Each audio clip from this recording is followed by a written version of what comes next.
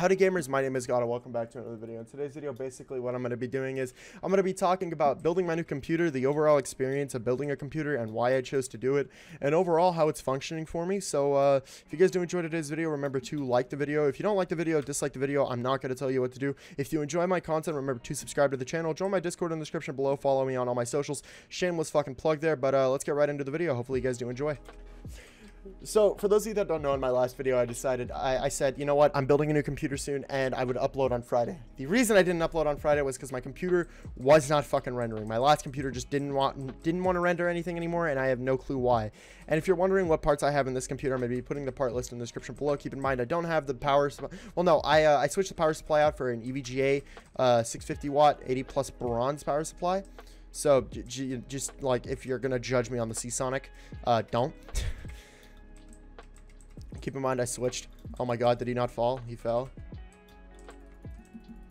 And let's drop this guy. Okay, I guess we're not dropping him. But yeah, so I chose to upgrade just overall. I think it was time for an upgrade. Personally, I believe it was. I believe it was time to get like an upgrade on the computer. There was no, uh, it wasn't a, a matter of, oh, do I want this or not? Or like a matter of spoiling myself. It was a matter of, okay, this needs to happen now. And it did. It finally happened. I bought the computer that I... Okay.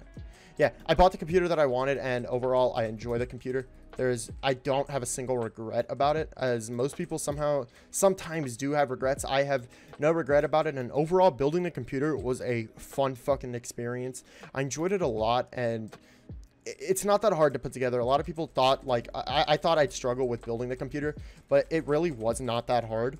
So, because essentially when you're building it, it's every part has a place to go. So essentially, if you, you put a part wrong, you're going to know somehow, some way. Okay, what was your plan?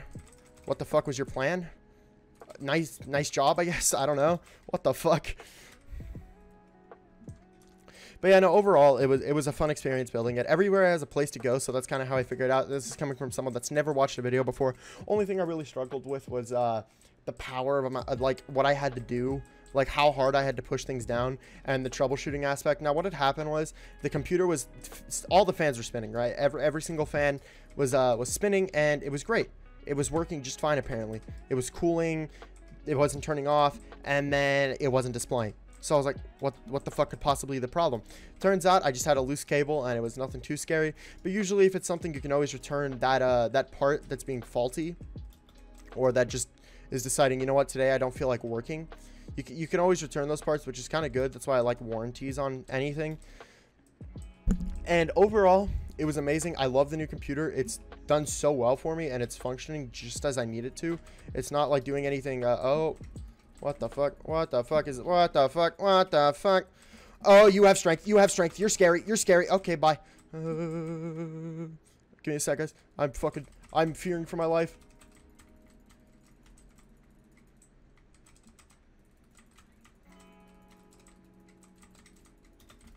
No!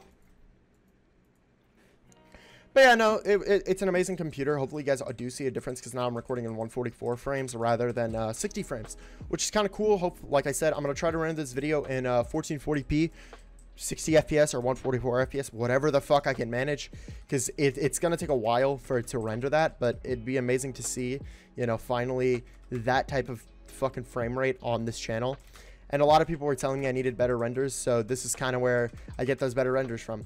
I plan to buy an RTX soon, so you guys will have a lot more videos that are just overall better, better quality. Like, be better quality than anything I've had before. And it's going to be great. I'm going to, I cannot wait. Like, it, it's, it's something I cannot wait for. And overall, I'm going to enjoy it. There, I'm not going to have a single regret because it's going to be something I want and it's going to be something I've sought after for years because this is like I'm building, I built the computer of like my dreams. You know, as a kid when you wanted that like really, really good fucking computer. Yeah, this is that computer. This is like the computer every kid fucking wanted just because of how powerful it is. And I overall don't regret a single thing and I enjoy it.